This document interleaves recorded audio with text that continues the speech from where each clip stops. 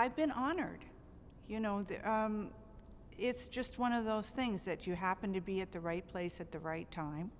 And then to be asked to come back was uh, totally a surprise, uh, unexpected, unsolicited, but upon reflection, truly an honor and a privilege.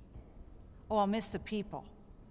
I, I you know, um, I have many, many, many friends and colleagues and people who I admire, respect, who've been, you know, trusted colleagues and uh, have inspired me. And that's really what this university is. I mean, it's a beautiful space, right? Uh, but you can always revisit the space. It's the people and the colleagues and the relationships and the day to day kind of interactions that will be hard to replace.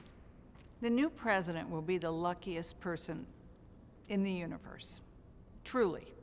I can't think of a better university to be part of and to be associated with. And the new president will have an amazing, an amazing opportunity to work with the faculty, staff, students, and alumni to position this university in that top, top group.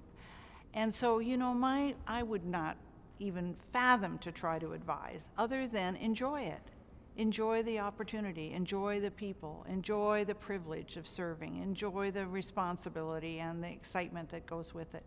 Because we are so honored uh, in these positions to be able to meet people, to be able to reflect on issues, to be able to represent the university in a whole variety of, of avenues and fashion. And so, my, my advice for what it's worth is just be themselves and ride it as they can and just to enjoy it.